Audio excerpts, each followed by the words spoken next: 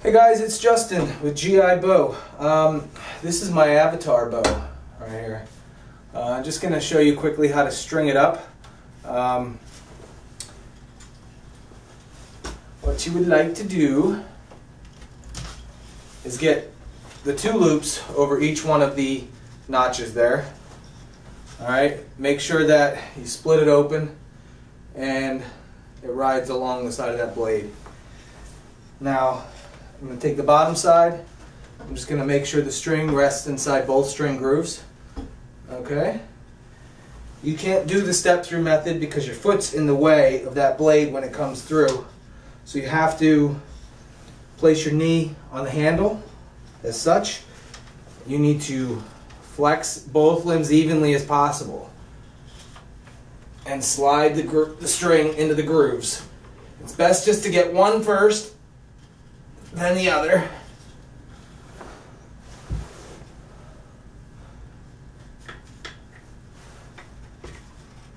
Make sure they're in place. Okay, everything looks good. That's how you string it. Okay, now that it's strung, you can pull it back. All right, that's it. Pretty simple. Stringing up the Avatar bow.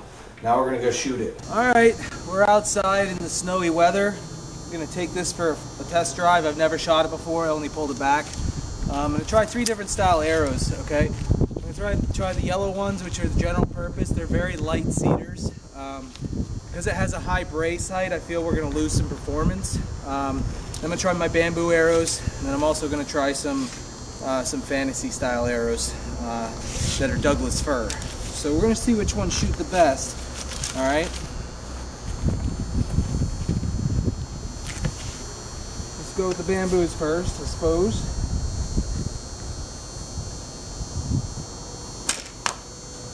Oh, it's practically a bullseye.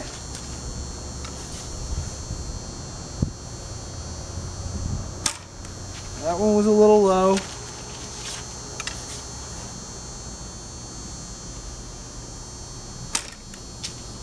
Alright, they fly fairly good. Let's try the Douglas fir.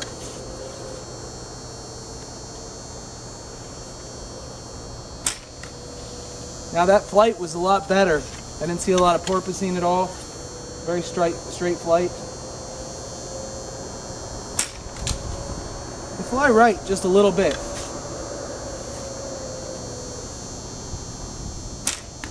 Yeah, all, all three of those were to the right. Now I'm to try the the lightweight ones, which I feel are going to perform the best.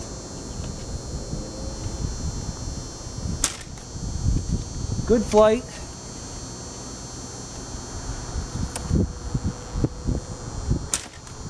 They have really good flight, and they're fast, so I can go back further. Alright, I suck, but that's alright. I'm trying again with a different angle. The bow does make a a noise. When you pull this, it hits the blade, the wood, everything kind of got a little bit of a clicking noise to it. Not ideal for hunting, but you get what you get. I mean, this is this is a badass bow.